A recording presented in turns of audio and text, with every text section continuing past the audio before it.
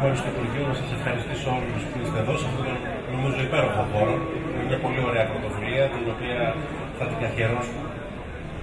Πράγματι είμαι ένα πατέρα ε, και χρειάστηκε να κάνω αυτή τη διαδικασία δύο φορές, αν και έχω τρία παιδιά.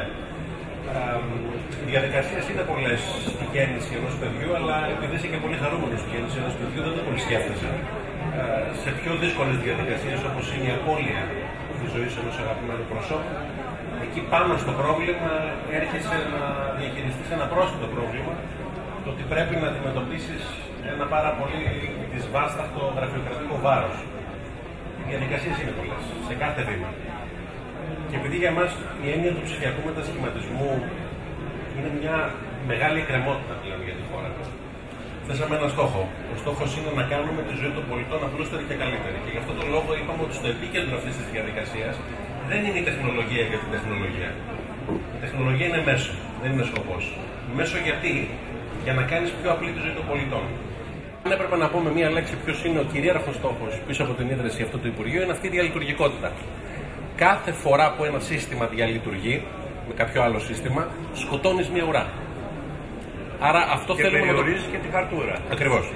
Άρα στην πράξη, εμείς τι κάνουμε αυτή τη στιγμή; Πρώτον, αποτυπώνουμε αυτά τα γεγονότα. Τα γεγονότα της ζωής τα Πάνω κάτω πόσα είναι αυτή στην πρώτη λίστα σας; εξαρτάται από τον ορισμό. Γιατί μπορείς να ορίσεις κάποιες διαδικασίες ως γεγονότα ή όχι. Είναι γεγονός ζωής η ανανέωση του διπλώματος οδήγησης. Για μένα είναι. Αν το δεις συνολικά, μια πρώτη προσέγγιση δίνει έως και 200 γεγονότα. Τα ΚΕΠ και η απλοποίηση και η ψηφιοποίηση, όλα αυτά πρέπει να συσχετίζονται με τον ένα με τον άλλο τρόπο. Άρα σιγά σιγά θα δείτε τέτοιου τύπου γεγονότα εκεί που είναι 14 οι διαδικασίες ή 12 οι διαδικασίες να μικραίνει σιγά σιγά αυτή η λίστα. Πέραν από υπουργός ψηφιακής διακυβέρνησης, είσαι υπουργός επικρατείας. Άρα θέλω να ρωτήσω δύο πράγματα που μπορεί να μην είναι το άμεσο α, στην άμεση αρμοδιότητά σου, αλλά έχεις μια θέση, μια προσέγγιση των πραγμάτων.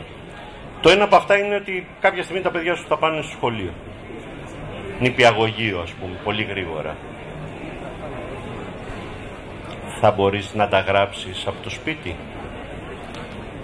Γιατί αυτό γίνεται παντού σε όλες τις χώρες της Ευρώπης.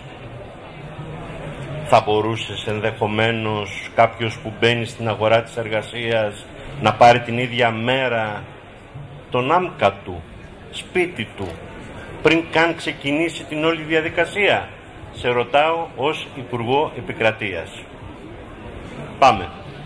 Να πω καταρχήν ότι το Υπουργείο αυτό, η θέση του Υπουργού ονοματίστηκε θέση Υπουργού Επικρατείας για ένα λόγο. Γιατί μελετήσαμε τις χώρες όπου πέτυχε ο ψηφιακός μετασχηματισμός με μεγάλη ταχύτητα. Μεγάλη Βρετανία, ας πούμε, Ηνωμένο Βασίλειο. 2011 η κυβέρνηση Κάμερον ίδρυσε έναν αντίστοιχο οργανισμό και ήταν στον Πρωθυπουργό. Εν τέλει ήταν πλάνο και σχέδιο του ίδιου του Πρωθυπουργού. Αυτό αντανακλάει η έννοια του επικρατεία γιατί είναι οριζόντιο. Οι κυβερνήσεις παραδοσιακά από το 19ο αιώνα είναι καλές στα κάθετα παιδεία, υγεία, εργασία. Αλλά στις οριζόντιες δραστηριότητες, συντονισμός κυβερνητικού έργου, πληροφορική, το πιο οριζόντιο, η πιο οριζόντια πολιτική. Είμαστε λιγότερο καλοί. Γιατί δεν είναι εύκολο να συντονίσεις πάρα πολλές δομές μαζί, παρά μόνο εν τέλει αν είναι η ιδιοκτησία του Πρωθυπουργού. Αφορά πάρα πολλές δομές. Γι' αυτό χρειάζεται ο συντονισμός. Το ίδιο πράγμα ισχύει και για την παιδεία, το ίδιο πράγμα ισχύει και στο πεδίο της εργασίας. Άρα πώς πιστεύεις ότι αυτό μπορεί να δουλέψει και να αποδώσει έργο μέσα στα επόμενα χρόνια. Με τον τρόπο που περιέγραψα πριν, καταρχήν αποτυπώνοντας τα γεγονότα, αποτυπώνοντας μία-μία τις διαδικασίες και το πιο δύσκολο απ' όλα, τις εξαιρέσεις των διαδικασιών. Σωστό. Γιατί εκεί είναι που τρώμε το περισσότερο. Το 95% του χρόνου σε διαβεβαιώνει τις εξαιρέσεις. Στην πράξη, φτιάχνουμε μια ομάδα εμπειρογνωμόνων. Ε, δεν θέλω να χρησιμοποιήσω τον όρο Επιτροπή Σοφών γιατί αυτός ο όρος έχει, έχει χρησιμοποιηθεί πολύ στο παρελθόν και δεν ξέρω αν δημιουργεί και πρόσφορους συνειρμούς. Αλλά θέλουμε να έχουμε μια ομάδα Ελλήνων και ξένων εμπειρογνωμόνων, όπου ο καθένας να προσθέσει ένα κομμάτι στο πάζλ μας. Ακόμα μου αρέσει ο κινηματογράφος, αρέσει και στον κύριο Ζαριφόπουλο ο κινηματογράφος πολύ και έχουμε κοινά κινηματογραφικά γούστα από ό,τι λέμε στις εσωτερικές μας συζητήσεις. Αλλά τώρα δεν έχουμε και πάρα πολύ χρόνο να βλέπουμε όσο θέλουμε.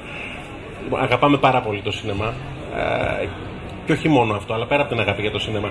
Η ιδέα είναι πια. Ε, Είναι αυτός ένας φυσικός, μια φυσική πηγή πλούτου για την Ελλάδα. Προφανώς Σαφέστατα, όφιλε να είναι.